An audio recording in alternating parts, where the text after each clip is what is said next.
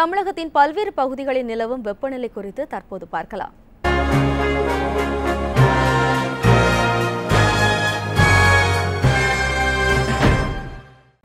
தமிழகத்தின் இன்றைய தட்பவெப்பநிலை பற்றி சுருக்கமாக பார்க்கலாம்.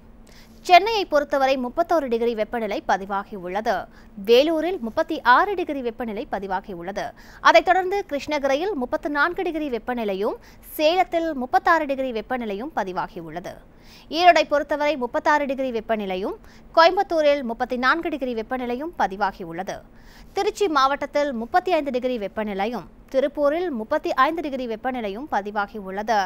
திண்டுக்கல்லில் முப்பத்தி ஐந்து டிகிரி வெப்பநிலையும் அதைத் தொடர்ந்து மதுரை மாவட்டத்தில் முப்பத்தி ஐந்து டிகிரி வெப்பநிலையும் ராமேஸ்வரத்தில் இருபத்தெட்டு டிகிரி வெப்பநிலையும் பதிவாகியுள்ளது.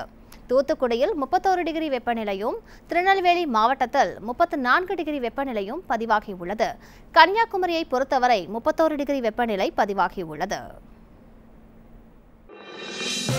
இது போன்ற முக்கிய வீடியோக்களை உடனுக்குடன் தெரிந்து கொள்ள நியூஸ் ஜே யூடியூப் சேனலை சப்ஸ்கிரைப் செய்யுங்கள்.